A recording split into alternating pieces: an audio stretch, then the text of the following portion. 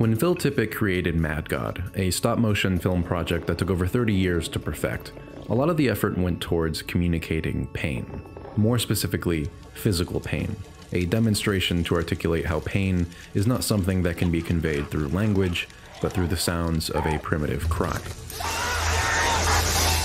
Something that film allows us to do is to convey an emotion that is inexpressible through words. It allows for other mediums of representation that might capture an emotional essence. But to do so, you might have to take an element of experience to an extreme level to capture its message. In this case, you capture an entire world of suffering on 16mm film.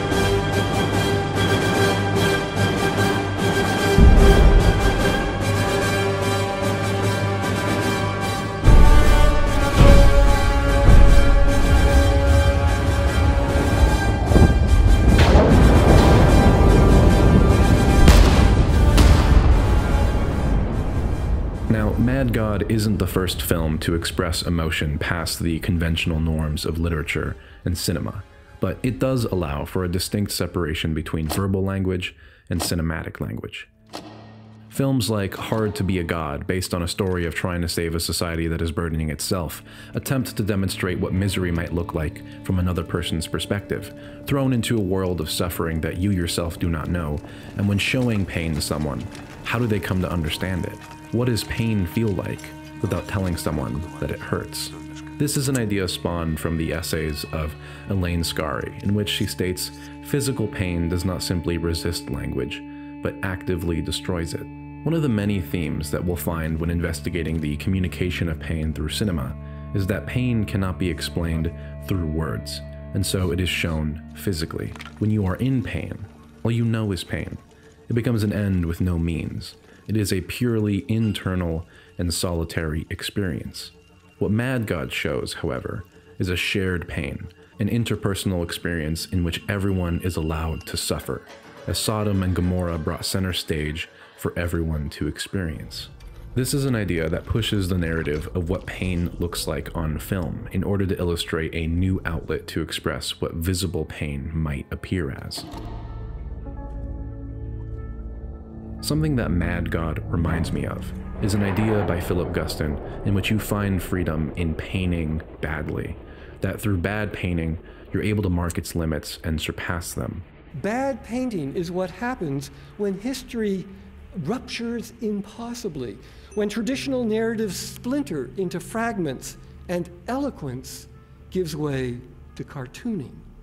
That shoe is bad painting not because it is poorly described, but because it marks the limits of painting, the most that can be said in a world without transcendence. Creative expression, although not forged in a vacuum, comes from the refusal to accept convention and seemingly inherit structure.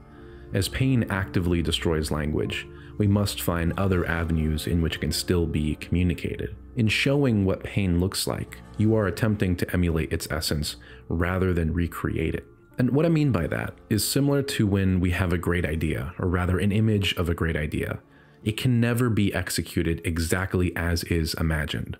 What we do, however, is emulate this image to the best of our abilities, through literature, film, art, creating what others may interpret as great since to them it's the first time you have shared this thought. But this great demonstration of what you have in your mind is only just that a representation, an uncanny double of what you imagine. It's for this reason the lens of cinema shows us what pain looks like, what it really feels like. We're not distracted by any nuances, dialogue. We can see the pain in their eyes, their body language, their actions. We can actually see the pain they're feeling. When I think of a similar emotional pain, I'm reminded of that scene from Interstellar where Matthew McConaughey's character knows he's not coming home. I think of that moment from Braveheart where William Wallace waits in a forest for his wife to escape with him, only to find her dead body tied to a stake. You can see the pain, you can hear it, and sometimes you can start to feel it.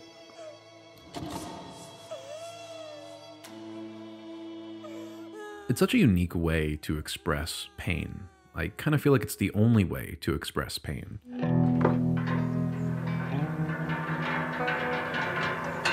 And when a film gets it right, when a film captures what mental and physical suffering looks like, you get a pretty good depiction of pain. In Ari Aster's Midsommar, the film creates an atmosphere in which psychological and physical pain can coexist. Dani's emotional journey and trauma are often seen to be part of a dichotomy between her internal, often invisible suffering of psychological pain and her very apparent visceral experience of physical pain. The result of pain comes from the manifestation of suffering, a psychological and physical endeavor. It almost feels like a private matter, a vulnerable moment, and when we see it on film, we get to be part of that existence. In Mad God, we feel every discomfort, every sound of wailing finds its way into our ears, and even though this experience is hard to withstand, we can't help but accept the cinematic exposition of pain. Cinema can portray pain through a combination of visual, auditory, and sometimes even kinetic elements.